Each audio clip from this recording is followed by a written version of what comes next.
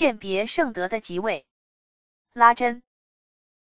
这段时间，网上大量出现大圣德大菩萨的称号，产量还越来越高。可是，一拿出来质量检验，我的天哪，千分之九百九十九都是伪劣产品。可就是有那么一些愚顽者，口口声声说某某人是大圣德，或他的师父某某是什么大菩萨，甚至听到百无一能的人大言不惭，称他早就知道自己是某某大菩萨化身，云云。前几天翻开几本现在的所谓佛书，又是一堆当今的这个大圣德，那个大菩萨。更可笑的是，有些无知人还整天张菩萨、李菩萨的称呼，那些会胡乱编讲几个佛教术语的人。好像这儿已经不是末法时期的娑婆，而是极乐世界，菩萨圣德满天飞了，真让人哭笑不得。为利众生正见的开夫，是该好好讲讲关于圣德的问题了。什么是圣德？所谓圣者，只要正入涅盘，身心脱离了六道轮回，就可以称圣者。因此，圣者的层次非常的多，罗汉、菩萨、佛都是圣者。但这三圣圣者的境量差距非常之大。罗汉虽然是圣者，却不能称圣德，因法执未断，德境不够崇高，量境有限故。所谓圣德，是建立在正德涅盘的圣者基础上，生发大悲菩提心，无私无我无执法，以度化众生成就解脱为己任，因而具有无相菩提的德格。如此德境的菩萨，方可称圣德。具体一点，罗汉分四果。初果须陀环就可称圣了，二果斯陀含，三果阿那含，四果阿罗汉。这四果罗汉圣位是声闻、缘觉二圣所证，已了生死正涅盘，我执已断，法执仍在，慈悲入出完菩提，未生智慧。他们生死自由，具备六大神通法力，但因为不具智慧，讲经说法往往错漏，不能圆融正解佛陀法义。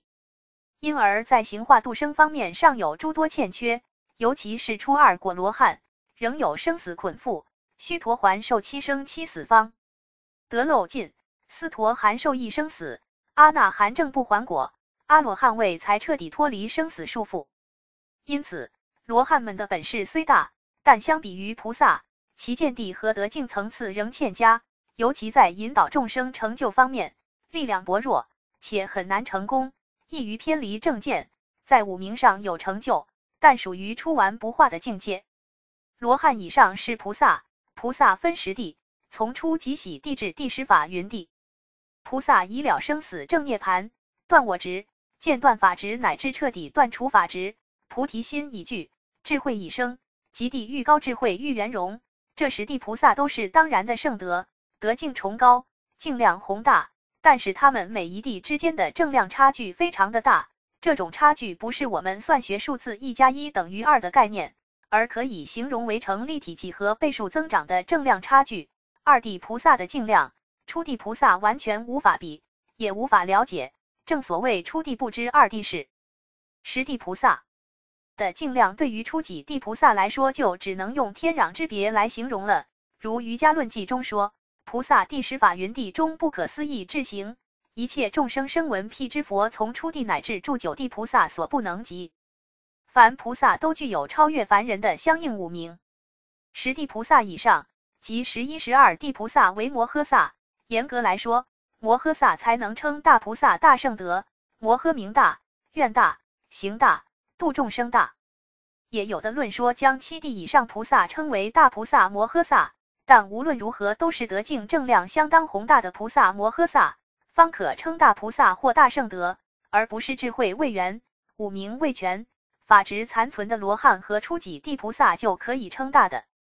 摩诃萨以上是等妙觉菩萨，等于佛妙于佛，如观世音菩萨、文殊菩萨等妙觉菩萨以上，便是无上正等正觉三身四智圆满与宇宙同体的佛陀。这些名词术语说起来似乎简单。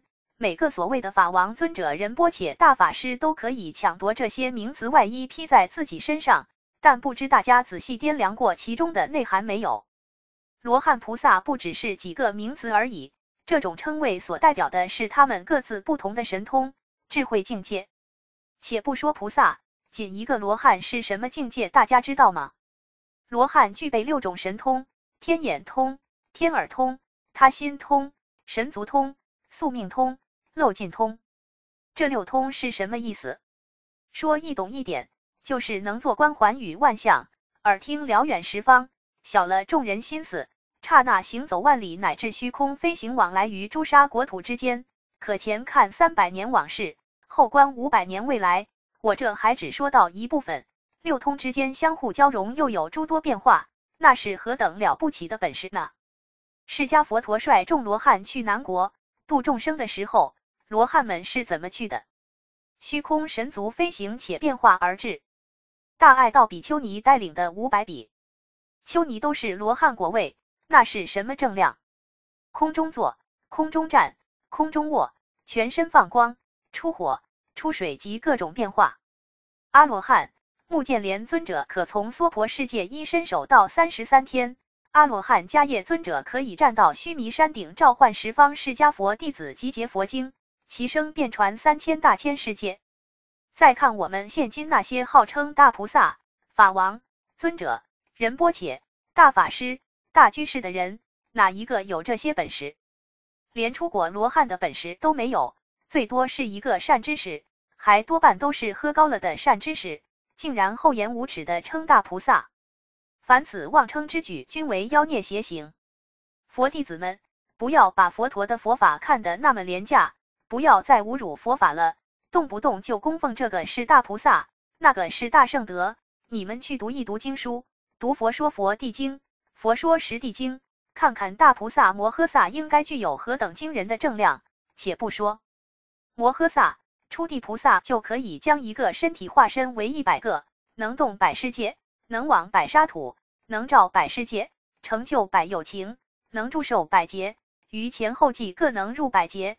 于百法门能正思则，视现百身，这还只是初地菩萨，可想而知大菩萨摩诃萨乃至无上佛陀会有怎样无法思议的境量？怎么可能是你们眼前那些六根离不开六尘的凡夫俗相？连让一根头发自己动的力量都没有，还动什么百世界？几面墙就把他堵得死死的，还去什么百沙土？眼耳鼻舌身都锁死在凡夫躯壳里。到底这些愚痴无能的凡夫凭了什么可以称大菩萨？末法时期的娑婆世界，罗汉都找不出几个，哪里来的那么多大菩萨？真有那么多大菩萨，兰台印证的两千万美金早就被人得走拿去修庙了，哪里会好几年了，那两千万还原封原样在那里？难道这还不能说明问题吗？而且伟大的第三世多杰羌佛说，兰台在等菩萨。不是摩诃萨，这其中的含义还不能让我们深思吗？竟还有人说自己是观音菩萨、弥勒菩萨，那就请你把兰台印证的悟中石做出来嘛。菩萨就已经具备五名了，更何况观音、弥勒两位老人家，一个古佛，一个最大的摩诃萨，拿点实地菩萨的五明正亮出来，往雕塑石洞里放点恒久不动的祥瑞雾气，应该是手到擒来，怎么可能不行呢？如果做不出来，你就闭嘴，老实做你的凡夫行人，不要不知羞耻，狂惑你的弟子们来侮辱佛菩萨的圣号。是不是圣者，是哪个等级的圣者，那是必须经过正量考核印证，而不是自己说了或者凡夫行人们推举了就算数的。从古至今都要考核。当年阿难尊者说自己证到了，迦叶尊者便考核他，让他从锁孔进门。显教各派历代成就者证道以后，也要找高僧印证。这种印证其实就是对其所证圣量的考核，也从来没有谁自己说是什么圣者菩萨就能算数的。秘法更是如此，从莲师时代开始就要进行考核，因明三支论起变考核、师资考核、成就圣量考核等等名目繁多的考核修法，尤其是金刚阿奇离。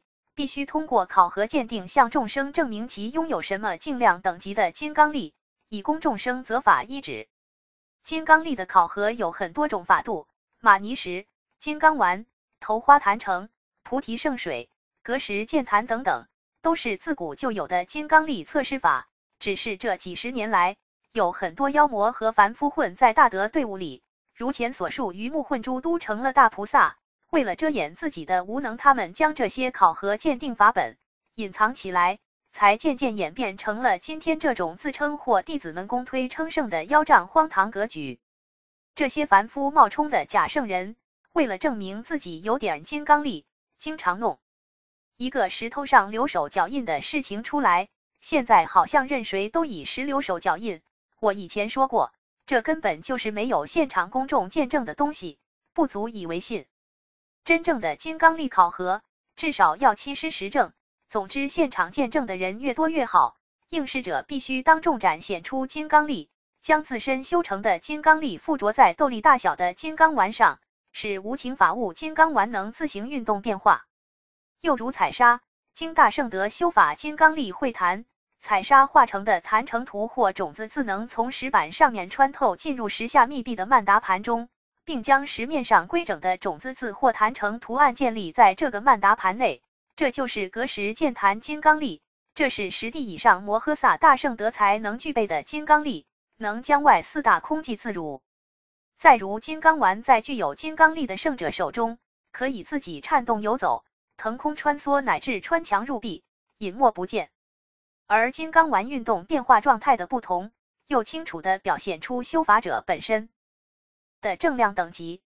今天拉真便依于正宗法义，将以金刚丸为表法主体的金刚力考核，它所代表的各种圣者等级，清楚告诉大家，望行人能依此建立则法的正确标准，树立正知正见。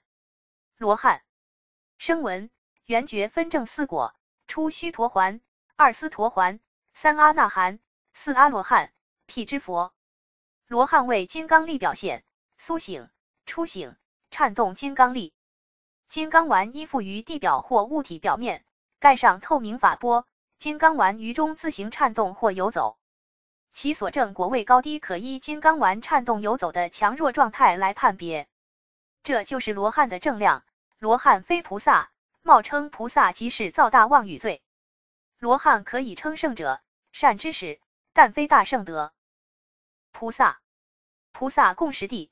初欢喜地，二离垢地，三光明地，四宴会地，五南胜地，六现前地，七远行地，八不动地，九上会地，十法云地。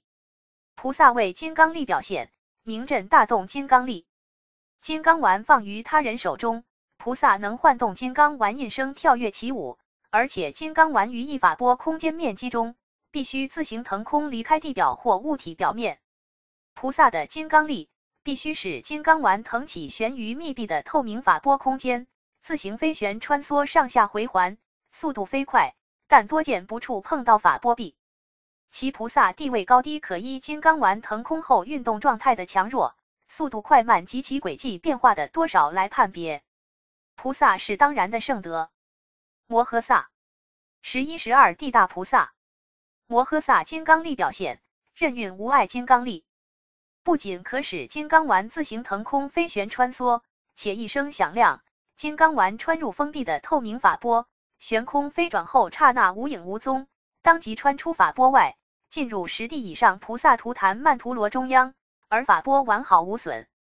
此种正地的大菩萨理所当然的是大圣德，但还不一定是真正的大摩诃萨。真正的大摩诃萨必须施展格时剑坛金刚胜利的表法，这是必须的。否则即非大摩诃萨。以上所列为法定标准，修到哪个成就果位极地，便具备那一等级的相应金刚力，金刚丸的运动便呈现与其修正等级相应的状态，无多无少，因果使然，确定等级。行人们，记住，现在是末法时期，圣者菩萨寥寥无几，则法须当依于法义，慎之又慎。大菩萨、大圣德的名号，不是世俗的恭维客套用语。不可以见人就奉送，不经见，别乱认菩萨圣德，犯轻慢佛法罪。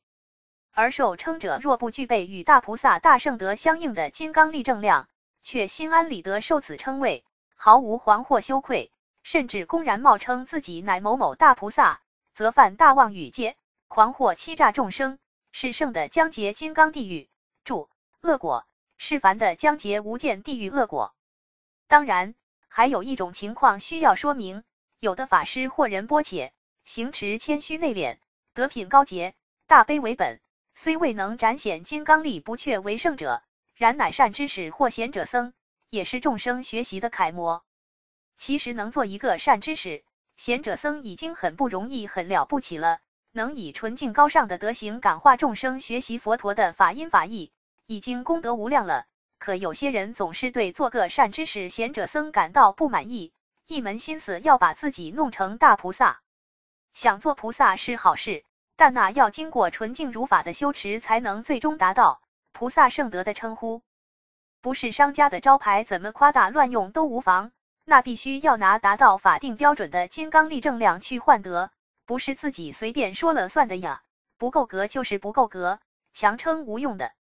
别说一般行人不够格，就连当今世界诸多 H H 级的大菩萨、H 一级别的菩萨，号称 Venerable 级位的尊者等等，其实大多数都是名不符实的过高标称。有许多 H H 级的大菩萨，连 Venerable 罗汉尊者的级别都不够，因为他本身就不具备罗汉正果。严格一点。有的可能连善知识的水准都没达到。再举一实例，即可见全班藏密宁玛巴总法王敏宁赤亲，长期处于梦瑜伽定中。全藏各派能实际超越敏宁赤亲法王正量的，找得出几个？然而敏宁赤亲法王也才是阿罗汉阿难尊者转世，和他相比，称一下你自己的斤两，你算什么？本事那么厉害的宁玛巴总法王都才是罗汉。你又凭什么本事能称菩萨圣德？老实行持，不要虚荣妄求贪大。中国北方有句俗话叫：没有那金刚钻，就别揽那瓷器活。滔滔不绝以表显自我或贪图利养为目的，生大我慢，妄称大圣德菩萨，结果自己又什么本事智慧都没有，那样会把自己和弟子们都逼到地狱里去的。切记，注金刚地狱。为犯戒内密金刚种子圣者受苦报之处所。它与无间地狱的不同在于，无间地狱乃凡夫受报处，受报完毕的众生出来后继续于六道轮回流转；而于金刚地狱受苦报完毕出来，其圣位不变，神通正量依旧。然而金刚地狱之苦状丝毫不逊于无间地狱，其苦无比，其苦无间。